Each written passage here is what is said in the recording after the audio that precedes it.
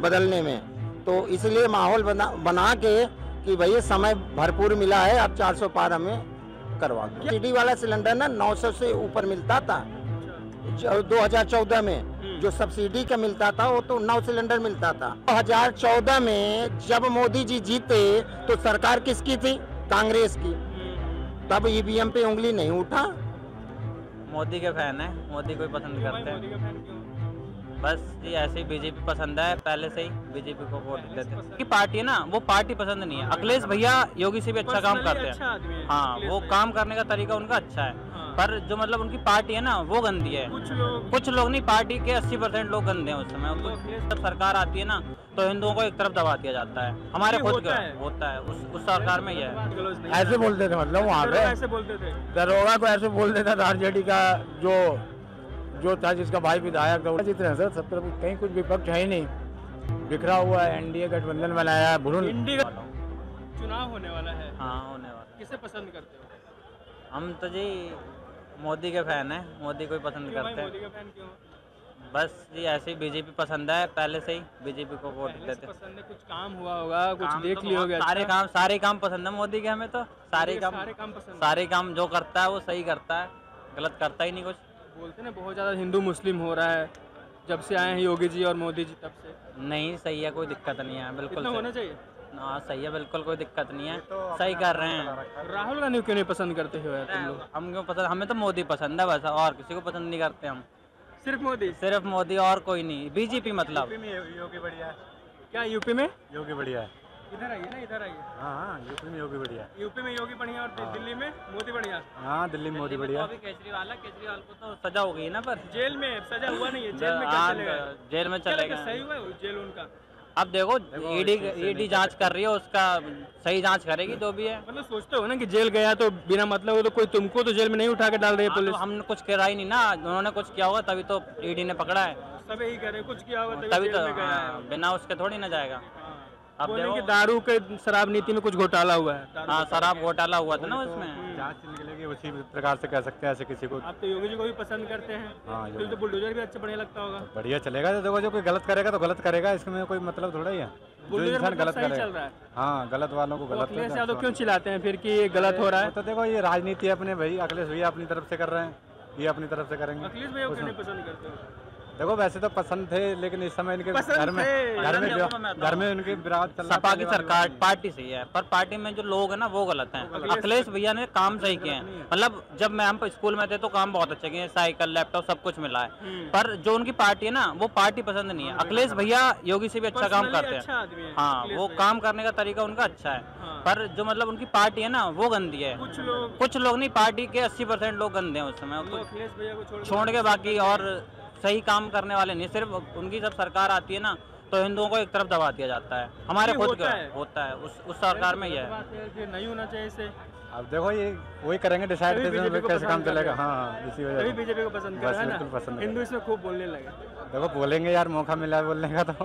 बड़ी चीज़ होती है कानून व्यवस्था। कानून व्यवस्था दिल्ली के बढ़िया है। दिल्ली बिहार हर जगह बदलाव है। सब बदलाव हुआ है।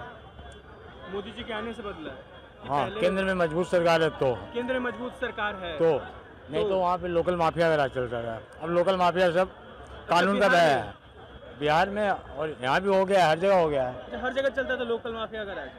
अब सब बंद हो गया मतलब। सब बंद हो गया। क्योंकि हम हमारा सब उठना बैठना था ना हम खुद देख रहे हैं हम खुद उस मानसिकता कहते हैं। अच्छा खुद माफिया वाले मानसिकता हम खुद देखते थे दरोगा कहता था क्या करेगा जान मरवा गलौज नहीं ऐसे बोलते थे मतलब वहाँ पे। ऐसे बोलते थे। दरोगा को ऐसे बोल देता था आरजेडी का जो जो था जिसका भाई विधायक था वो लोग ऐसे बोलते थे मतलब मतलब प्रशासन को ऐसे बोल देते थे सब लेकिन अब नहीं बोलते होंगे ना। अब वो लोग सब अलर्ट रहता है कि कानून घर आ जाए अब खौफ है डर है। डर है। नीतीश कुमार को पसंद करते हैं आप? खूब पसंद करते हैं। तो बोलते हैं कि पल, पलट जाते हैं हर बार। पलटिस कुमार भी कुछ लोग बोलते हैं नहीं जाते हैं। उनको बिहार से लगाव है बिहार का डेवलपमेंट किए हैं। और उनको दूसरा चेहरा नज़र नहीं आता है अपने से काबिल। अच्छा। और उनके बगैर सरकार भी नहीं बन पा रहा है ना भाजपा की भी मजबूरी है आरजेडी की मजबूरी है। हम्म। पलट क्या जाते हैं? सत्ता में सब एक दूसरे का केंद्र में जब मोदी जी रामविलास निकला तो उन्हीं के नाम पे फिर रामविलास आ गया इन्हीं के साथ तो चलते रहता है। तो सत्ता का समीकरण है। चलिए देश में आते हैं। मोदी जी के चुनाव जीत जीत रहे हैं इस बार या नहीं? क्योंकि लोकसभा का चुनाव है रहे हैं। सर एक तरफा जीत रहे हैं। एक तरफा जीत रहे हैं। तरफा जीत रहे हैं। सर आप तो हमसे ज़्यादा जानते हो अपना विचार रख रहे हैं। नहीं नहीं हम जानते हैं तो फिर हम नहीं बोल सकते ना क्या जानते क्या नहीं। आप जानता हो। तरफा जीत रहे हैं सर सब तरफ़ कहीं कुछ विपक्ष है ही नहीं। बिखरा हुआ है एनडीए गठबंधन बनाया है भ्रूण इंडी गठबंधन बनाया हराने के लिए। वो भ्रूण हत्या हो गया नीतीश जी बनाया सूत्रधार वही आउट हो गए तो जो क्रिएट किए थे क्रिएटर वही आउट हो गए और बाकी सब केजरीवाल वगैरह सब देख ही रहे हैं क्या हो रहा है। ममता केजरीवाल केजरीवाल चले गए वो लंबा ही चले सही हुआ है केजरीवाल के साथ? सर वो एक ईमानदार बाकी सब बेईमान तो हमारे साथ तो सही हुआ है। वो सही हुआ है जो केजरीवाल जेल गए वो एक ईमानदार हैं बाकी सब वो हैं तो लेकिन शराब घोटाले में नाम था तभी तो पुलिस ईडी गिरफ़्तार की होगी ना? बगैर नाम के बगैर कहते हैं ना बगैर उसका धुआँ तो उठता है। हमारा बहुत ही फ़ेमस हो गया है अब की बार 400 पार। बिल्कुल बिल्कुल। होगा? चार सौ क्या बहुत ज़्यादा होगा? क्यों होगा? भैया क्यों होगा? मोदी जी हैं तो सब मोदी जी कहते हैं ना मोदी की गारंटी है। तो मोदी जी के लिए तो हम वोट देंगे भैया। वोट आपको देना है और 400 पार का नारा मोदी जी लगा रहे हैं। ये कैसे हो गया भैया वो पहले जनता को बता दिए हैं ना हाँ। तभी तो जनता अपना माहौल बनाएगी। अच्छा। तो माहौल बनाएँगे समय लगता है ना हाँ। बदलने में। तो इसलिए माहौल बना बना के कि भैया समय भरपूर मिला है अब 400 पार हमें करवा दो। क्या ऐसा किया है जो 400 पार के दम दाना रटे लग रहे हैं आप लोग? भैया ये बताइए क्या नहीं किया है?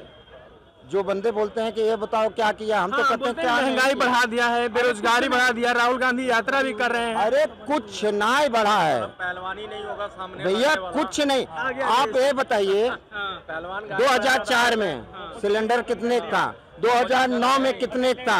2014 में जब मोदी जी आए थे तब कितने का? वो बताएँ पहले जो बंदे हैं। बगैर सब्सिडी वाला सिलेंडर ना 900 से ऊपर मिलता था। 2014 में जो सब्सिडी का मिलता था वो तो नौ सिलेंडर मिलता था। इसके बाद जो विदाउट सब्सिडी था उसका देख लें। तो मोदी जी आज के डेट में कितने सिलेंडर चूल्हे कितने करोड़ों में बांट दिए हैं। भैया कहाँ से लाए हैं? नहीं राहुल गांधी कहते हैं कि राजा का प्राण ईवीएम में बसता है। मतलब ईवीएम में है कुछ बात तभी मैं तो तो यही कहता हूँ ईवीएम लाया कौन? क्या मोदी जी लाए थे? दो हज़ार चौदह में जब मोदी जी जीते तो सरकार किसकी थी? कांग्रेस की। हम्म, तब ईवीएम पे उंगली नहीं उठा। मोदी जी जब जीते तब भी तो ईवीएम थी। 2019 में भी ईवीएम जहाँ पे इनकी सरकार आ जाए दिल्ली में हार गई बीजेपी आपका देखा जाए तो एमसीडी में भी हार गई और वैसे भी विधानसभा में भी हार गई। तब तो सब सही था। तब तो सही था। वैसे केरल इन सब में हार जाती है तो सब सही था। पंज, राजस्थान पंजाब में हारी। तब तो सही था। राजस्थान में बीजेपी आ गई। तब तो तब तो गड़बड़ हो गया। और जब वो आए थे कांग्रेस कांग्रेस ने राजस्थान में जो जो वादा किया था किसानों को दूँगा उनको दूँगा। पंजाब में केजरीवाल जी ने जो जो वादा किया था क्या कोई दे रहा है?